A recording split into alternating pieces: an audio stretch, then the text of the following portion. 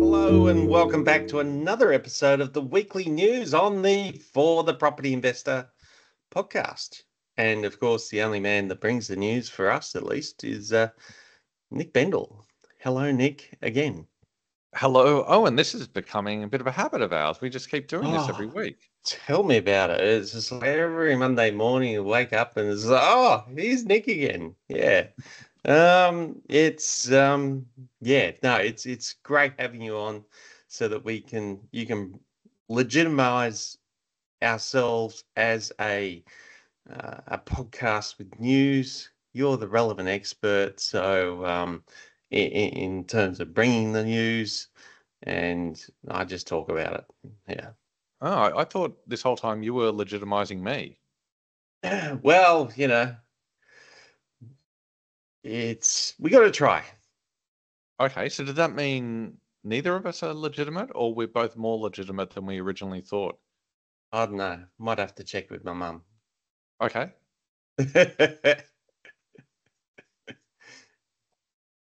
but uh, yeah, maybe that's a different story. That that's a different podcast. Yeah. But um, what have you been up to in the past week, Nick? Well, it- it's been a really busy week, Owen. For those who don't know, I'm the owner of Hunter and Scribe, which is a copywriting agency that writes content for finance and property professionals. And one of the groups we work with is financial advisors. We work with quite a few financial advisors.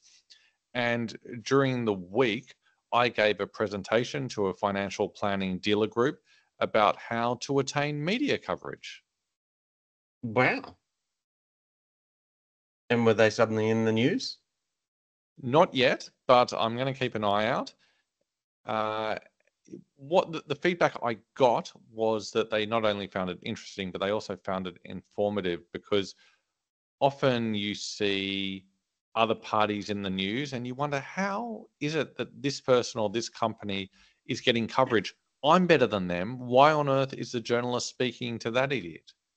Yeah, I, I was thinking the exact same thing. You, uh, yeah, thinking about a couple of people in in our industry and how they end up on on some news programs, and it's just like that's ridiculous. What do they know?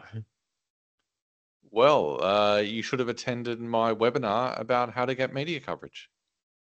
Oh, well, um, all right, maybe next time. Let me know about it. Okay, plus you needed to become a financial advisor. Oh no, I decided a long time ago I didn't want to be one of them. Okay, well, too much compliance? Yeah, pretty much. Yeah. Okay, it's good to know you've joined an industry with very little compliance.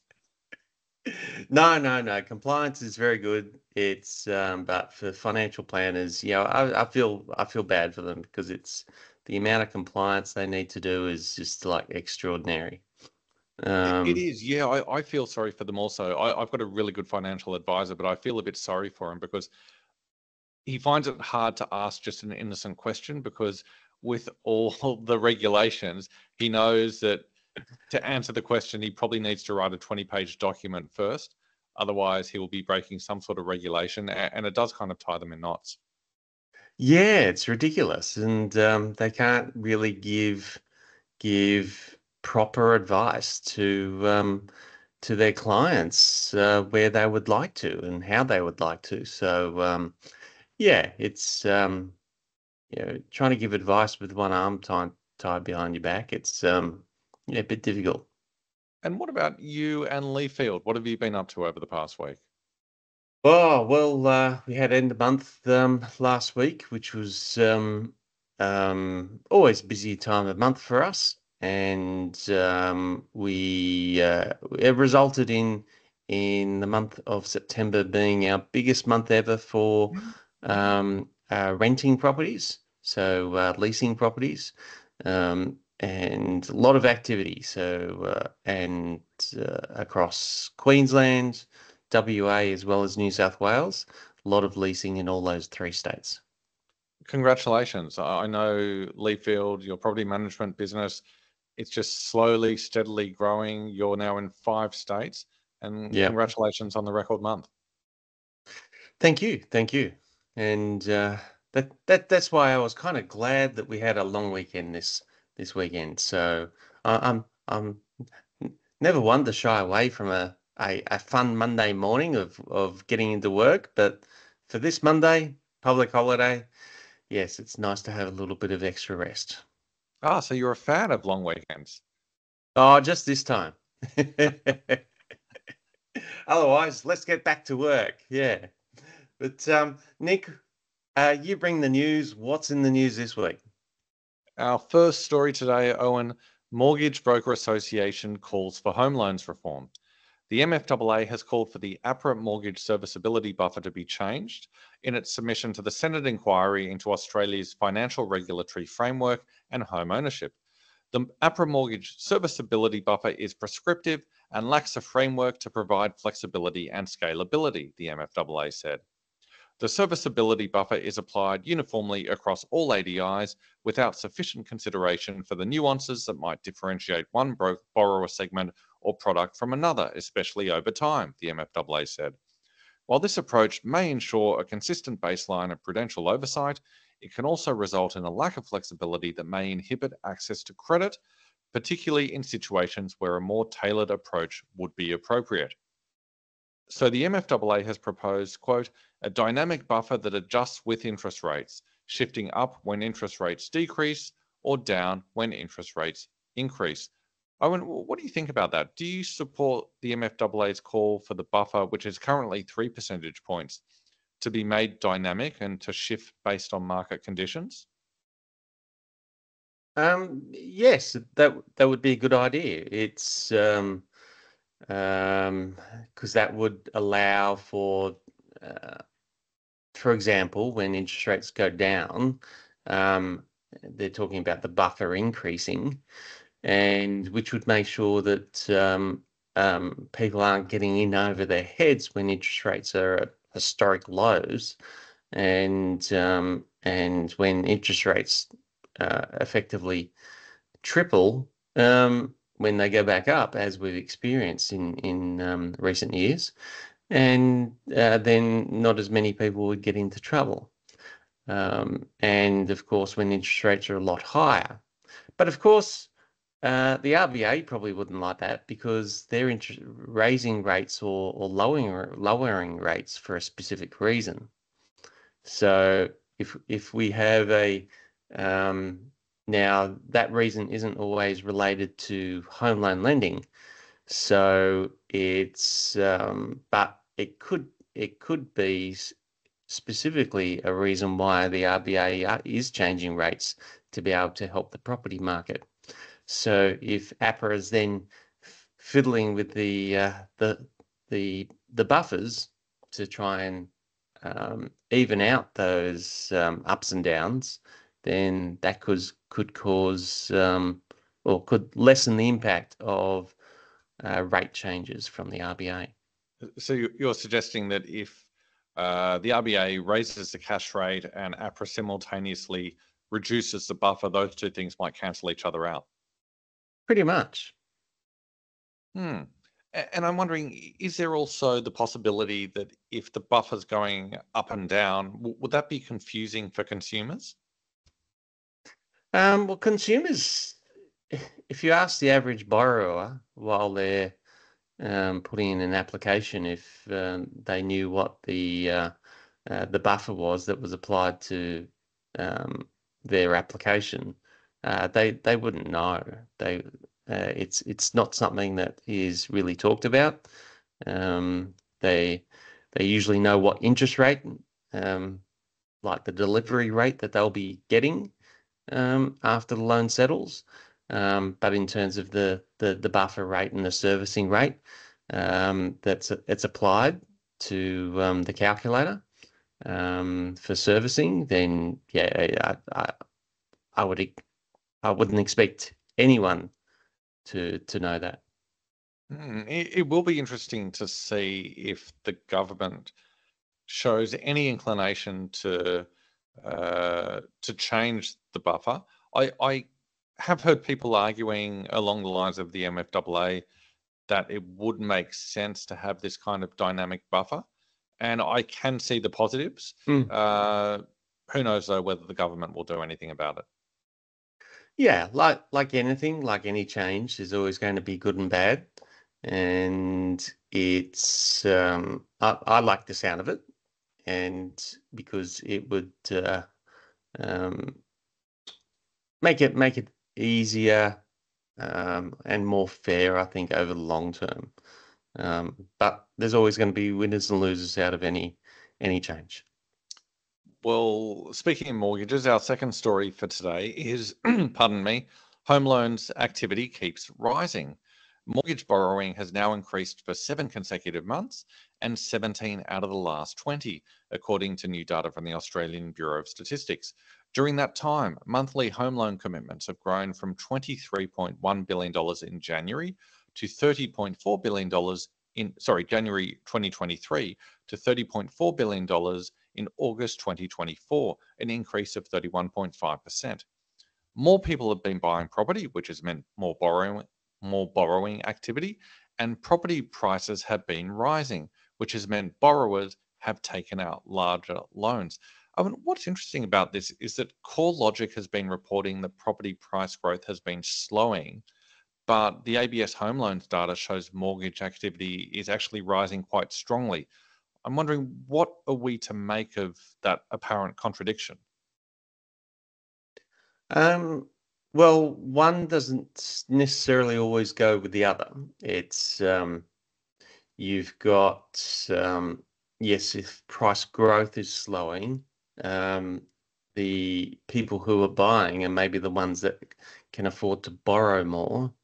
So they're the ones buying rather than the, the people who can't afford to mm. um, keep their lending at the moment, um, and they're, so they're the ones selling.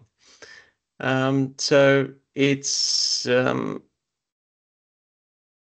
it's something that is um, has to be looked at independently, um, but there's usually some correlation there um, between it. So it, it, it shows that uh, we're probably in a healthy lending market at the moment, um, where the people who can't afford their their um, their loans are getting out of the market uh, rather than trying to um, um, you know wait until they get into trouble. Hmm. So we've got the ABS saying that home loans activity has increased for 17 out of the past 20 months, and CoreLogic has reported that the national median property price has increased for 20 consecutive months. Do you have any feeling as to how much longer this property price growth cycle can last? Well, it's still growing on you know, on average across the country, but it's um, growing at different rates around the country.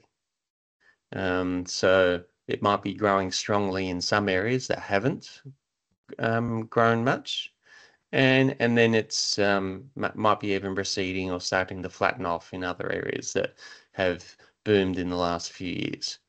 So it's it, it's something that'll uh, it, that'll come and go as as the tides do, come in and out, and it's it, it's um, something that as long as the economy is healthy, we have good employment, which we do, and and the rest of the economy is healthy, then um, uh, price growth can continue until we get more supply.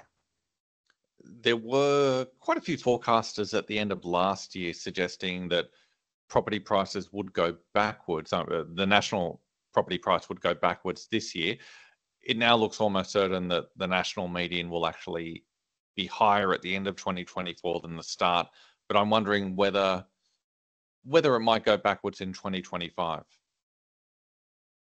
Well, that'll all depend on the amount of supply that comes onto the market, and it's uh, the government promises of of bringing in um, X number of um, new dwellings um, into the market um, is obviously going to fail, um, and uh, uh, that that was their um, big push and big promise, and they're failing to to come through with that. So um, that'll result in higher property prices. Our final story today is one I think it'll be uh, one I think will be dear to your heart. Property investors striving for financial independence. What are the main reasons people invest in property? Well, according to a survey by PIPA, the Buyers Agent Association, of more than 1,100 existing or potential property investors, the top reasons are 92% of respondents said to provide financial security. 83% said to be self funded in retirement. 68% said to add to my retirement nest egg. 62% said to retire earlier or work less. 53% said in case superannuation tax rules change. 50% said in case the government can't support me. And 47% said to provide an inheritance. Owen, do PIPA's findings match what you hear from your landlord clients? Um, absolutely. It's um, it's people want to be able to take control of their lives and um, and their financial futures, and uh, a lot of people aren't um, satisfied with um, uh, superannuation and and how it's working. Um, so it's um, people want to invest in in real brick and mortar assets. And yes, they can do that in super as as a possibility, um, but it's not not as easy to do, and um, there's a lot of restrictions in super as well. So um, yes, people want the flexibility to be able to um, control their their financial future. I'm curious to know your philosophical position on, something I'm going to put to you. I, am sure we'd agree that governments should not punish property investors, but do you think governments should support property investors or remain neutral? Um, well, it depends what you mean by support. It's um, um, yeah, the the government def definitely needs property investors in the market to because um, it it uh, without property investors there would be um, a huge demand on public housing, um, which the government would need to supply. Otherwise, there'd be a, bit, a lot of homeless people. So um, something, uh, yeah, large and drastic would have to change. So it's there's definitely a relationship there. Um, both need each other to be able to um, um, stay uh, with their investment, and um, and with that investment, it provides more taxes at the same time. So yes, if the government was to support and uh, and provide any better benefits to property investors, it well, well and truly comes back um, to the government in, in higher taxes. Hmm, you've also got the fact that if people are self-funding their retirement, then the government doesn't need to fund their retirement. Oh yes, absolutely. It's um, yeah, in the long term, yes, if people have got um, uh, those assets to um, uh, provide an income for themselves in retirement, and, and of course, uh, remember that income will be taxed as well, um, even in retirement. And it's uh, and those taxes uh, are there to be able to help pay for the people who um, weren't able to um, invest for themselves during their work life. So, would it be good for society if there were more property investors? Um, ab- absolutely. It's it's. Um, I, I think there's a nice balance now. Uh, I, I don't think we need necessarily um, more investors as a as a percentage of of of all um, of all property uh, dwellings out there in the country, but we need more properties. Mm. So which will mean that we'll need more investors as well. So um, it's a balance of both. Let, let's keep the percentages the same, but we, we need more supply. Uh, census data shows that about 65% of people own their own home and about 35% of people are renters. So you're happy with that percentage? Yes, yes. It's um, we've we've had that percentage for a long time on average and and it works. So it's not like it's um, you know investors are buying up all the property. It's um, um, that we haven't seen that change at all. Um, they're not pushing up prices as a result. It's um, as you just said, two thirds of the market uh, is owner occupied, and the majority of them have um, are the ones that do the transactions for um, for upgrading their current home. So they're selling and buying another to live in, and that's where the majority of the market is made. So it's not with first home buyers, it's not with investors. So investors tend to keep their properties for longer. Um, and and they're usually um, lower price properties as well. And so the, the market movers uh, is are those two thirds that already own a property and they're buying or they're selling uh, to buy another one. It, it'll be interesting to see how this plays out in the coming decades because as our society ages, there are now fewer taxpayers supporting each retired person than in the past. And at some point, that might become unsustainable for the federal budget, which means either uh, people will, uh, the government will raise the retirement age or the government will reduce the pension. And therefore, it, it makes sense for people to look to self fund uh, to whatever extent they can, whether that's through property investing or investing in shares or investing through their superannuation. Absolutely. Absolutely. Well, always good to chat, Owen. Thank you oh, for sharing yes. your expert insights. And I think you've provided me with a lot of legitimacy in this podcast. Oh, thank you, Nick. You're so kind.